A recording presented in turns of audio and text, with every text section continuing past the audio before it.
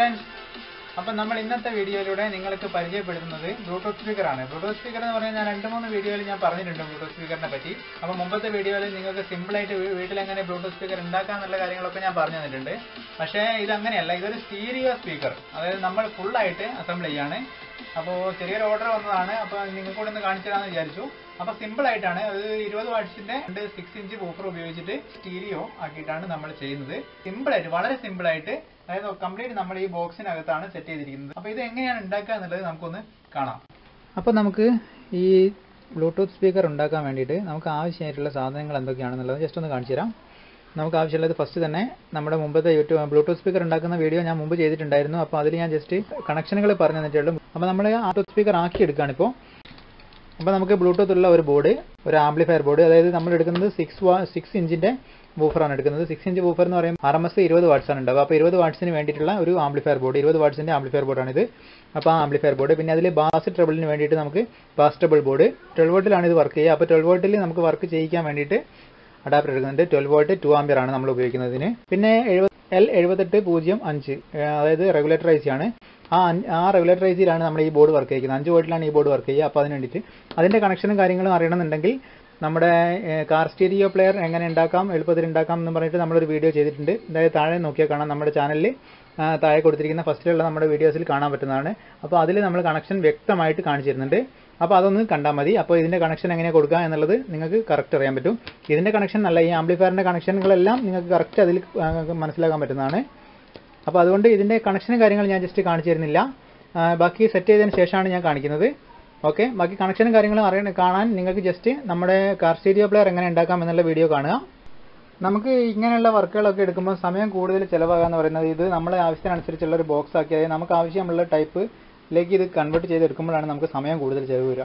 അപ്പോൾ ഇവിടെ തന്നെ ഇപ്പോൾ ഞാനിതാ ഇവിടെ ഒരു ഈ സ്പീക്കറിന്റെ ട്യൂട്ടറിന്റെ സ്ഥാനത്ത് ഞാനിതാ ഒരു കട്ട് ചെയ്തിട്ട് ഈ ബോർഡ് ഇവിടെ ഞാൻ ഫിക്സ് ചെയ്തിരിക്കുകയാണ്. അപ്പോൾ നമ്മുടെ രണ്ടാമത്തെ സ്റ്റെപ്പായിട്ട് മുൻപ് ഇവിടെ നമ്മൾ കട്ട് ചെയ്ത് കഴിഞ്ഞു. ഇപ്പോൾ ഇതാ ബാക്ക് സൈഡിൽ കട്ട് ചെയ്തു. അവിടെ നമുക്ക് ഇതാ ഒരു ടെൻ ഷീറ്റിന്റെ ചെറിയൊരു പീസാണ് ഞാൻ എടുത്തിരിക്കുന്നത്. അപ്പോൾ ഇത് നമുക്ക് ഇവിടെ ഫിക്സ് ചെയ്യാനുള്ളതാണ്.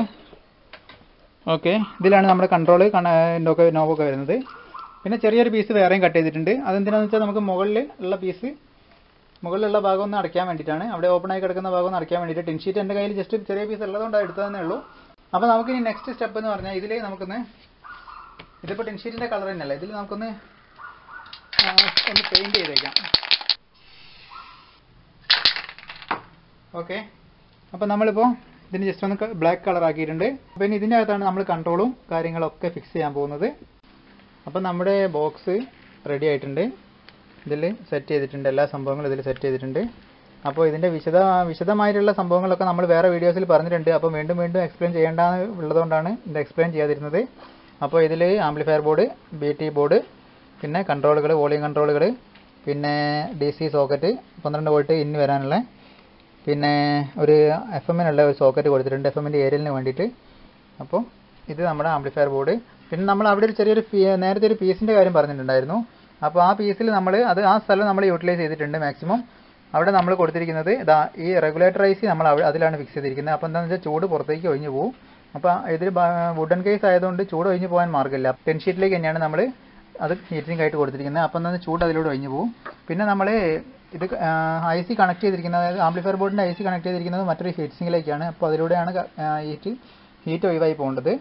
അപ്പോൾ അതും അങ്ങനെ കൊടുത്താലേ ഐ സിക്ക് ഐ സി നിൽക്കുള്ളൂ അത് അതിന് വേണ്ടിയിട്ടാണ്. ഓക്കെ അപ്പോൾ നമുക്ക് പുറംഭാഗം ഒക്കെ നോക്കാം. ഈ പീസിലാണ് നമ്മൾ റെഗുലേറ്റർ ഐ സി കൊടുത്തിരിക്കുന്നത്. അപ്പോൾ അത് ചെറിയൊരു ബോറായിട്ട് തോന്നിയേക്കാം. പക്ഷേ എന്നാലും അത് വളരെ ഉപകാരമുള്ളൊരു പീസാണ് അതുകൊണ്ടാണ് അങ്ങനെ കൊടുത്തത് ഞാൻ.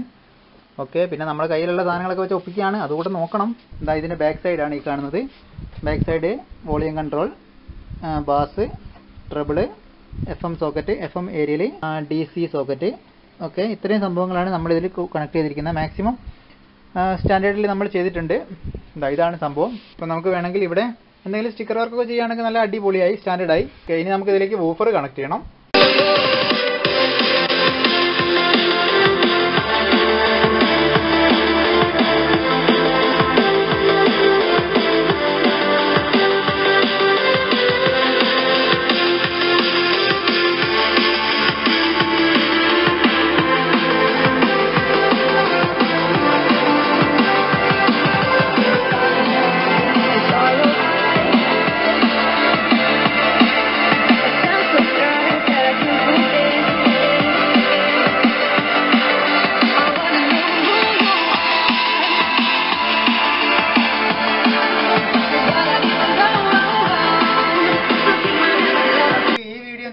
എല്ലാവർക്കും ഇഷ്ടപ്പെട്ടു എന്ന് വിചാരിക്കുന്നു.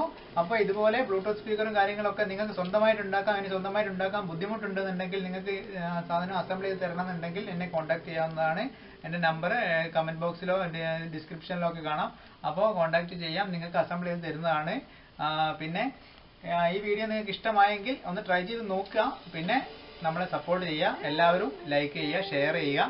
ഇനി ഇഷ്ടമായില്ല എന്നുണ്ടെങ്കിൽ ജസ്റ്റ് ഡിസ്ലൈക്ക് ചെയ്യാം അല്ലെങ്കിൽ കമന്റ് നിങ്ങൾക്ക് ഇടാം. അപ്പോൾ എല്ലാവരും നമ്മളെ സപ്പോർട്ട് ചെയ്യാം. താങ്ക്